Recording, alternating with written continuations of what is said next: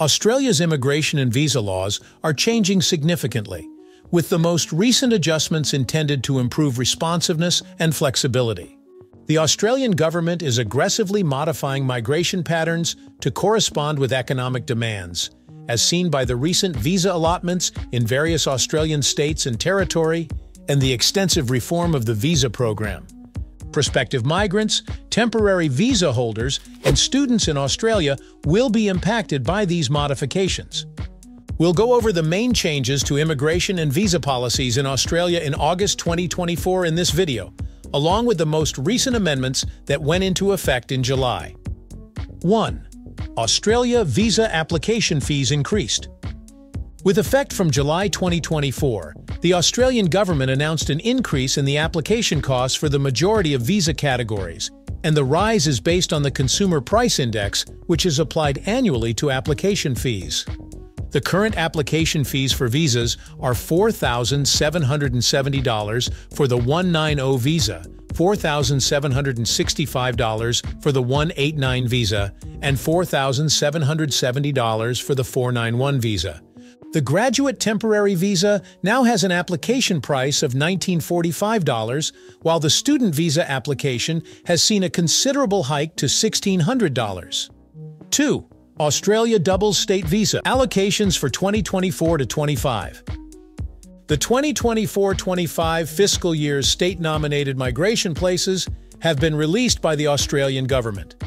The number of visas granted this year has quadrupled over last year, which is good news for those who wish to immigrate, as Western Australia has allocated 5,000 state-nominated migration spots for the 190 and 491 visas.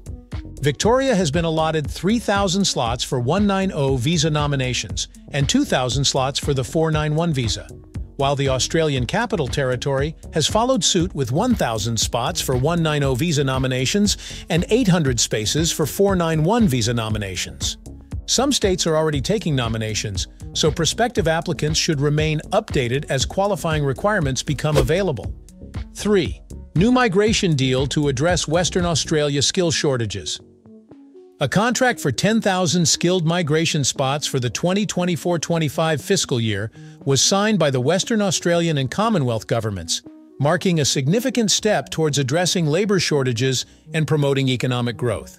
The economy of Western Australia stands to benefit greatly from this deal, especially in the area of residential building.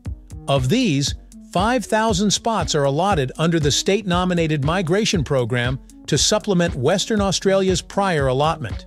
4. Closure of Business Migration Program Applications for the Business Visa Subclass 188 were no longer accepted after July 31, 2024, which closed all streams of business visas, however, applications that were already submitted would still be processed. Visa extensions may still be applied for by holders of the subclass 188 visa in the business innovation and significant investor streams. If the principal applicant already has a subclass 188 visa or receives one after an application is already submitted, family members of those who possess one may also submit applications. 5. Migration News for Northern Territory 2024-25 In the 2024-25 program year, the Northern Territory received over twice as many nominations for skilled migration than it did the year before.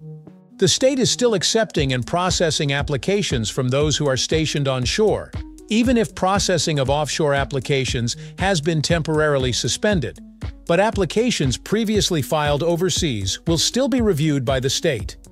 Under the revised offshore application parameters, new applications from candidates located overseas must be submitted by August 12, 2024, and more details on the updated requirements for candidates will be made available closer to this date.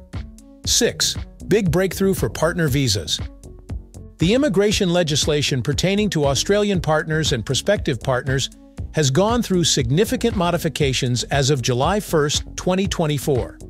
The purpose of these modifications is to make the visa requirements easier for prospective, present, and intended partners.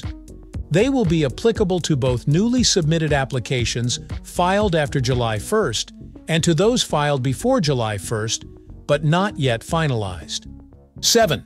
Philippines passport holders eligible for work and holiday visa. The Australian Department of Home Affairs has greatly enlarged the work and holiday visa program, and citizens of the Republic of the Philippines are welcome to apply as of July 1, 2024. The expansion of the work and holiday program strengthens relationships between Australia and the Philippines by promoting cross-cultural exchange and providing valuable work and holiday possibilities. That will be all in this video. Please share your opinions with us in the comments area. Don't forget to like, subscribe, and enable the notification bell to receive updates on job and immigration news. Thanks for watching.